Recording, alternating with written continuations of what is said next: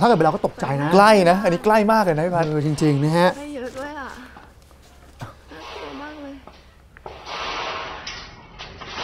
ขอให้อย่ามีอะไรเกิดขึ้นกับบ้านของหนูเลยนะคะสาธุ ใกล้มากนะครับครับ ต้องบอกว่าลุ้นนาทีระทึกไฟไหม้ข้างบ้านนะครับสำหรับนักร้องสาวพันธ์วรการครับที่กระโชคดีที่เห็นได้ทันเวลา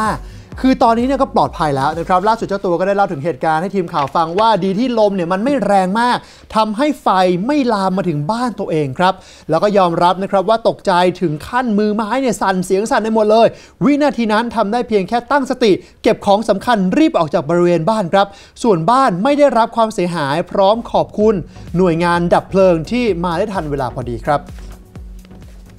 ไฟไหม้ก่อสร้างค่ะเป็นก่อสร้างข้างบ้าน คือมันก็ติดกับบ้านเรานั่นแหละก่อสร้างเขาว่าน่าจะห่างประมาณตามมาตรฐานเขาน่าจะสองสามเมตรตกใจมากแต่ก็แบบคือมันมือสั่นใจสั่นแล้วก็แบบเสียงยังสั่นอะไรเงี้ยคือ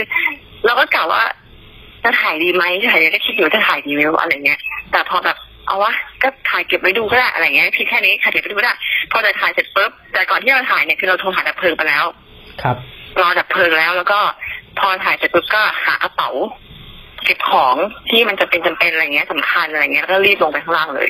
ครับได้ยินเสียงแล้วล่ะว่าโวกเวกโวยวายแล้วก็เหมือนวิ่งอะไรสักอย่างแต่ครั้นี้เราคิดว่าเขาทะเลาะอะไรกันหรือเปล่า ก็ยังไม่ได้สนใจ จนแบบได้ยินเสียงเขาพูดกันอะคนคนบ้านเราอย่างเงี้ยว่าแบบเฮ้ยไฟไหม้อย่างเงี้ยเออเราก็เลยรีบลงไปดูควันน่ะมันอยู่ชั้นสามแล้วมันใกล้หน้าต่างหน้าต่างห้องเราเลยอย่างเงี้ยเราก็เลยโผล่หน้าต่างไปดูโอ้โห ไฟแบบเป็นเพลิงไฟมาแล้วอะดีที่ยังไม่ได้ทามกระเด็นไม่ได้มีเศษไฟกระเด็นมาตรงบ้านเราอย่างเงี้ยค่ะ